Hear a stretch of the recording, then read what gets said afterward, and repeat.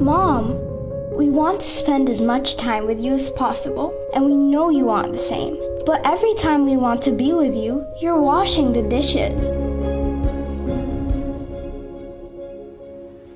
Let's change that. Using a dishwasher saves an hour a day to spend on the things that matter most, while saving 90% of water compared to hand washing. So, will you use a dishwasher now?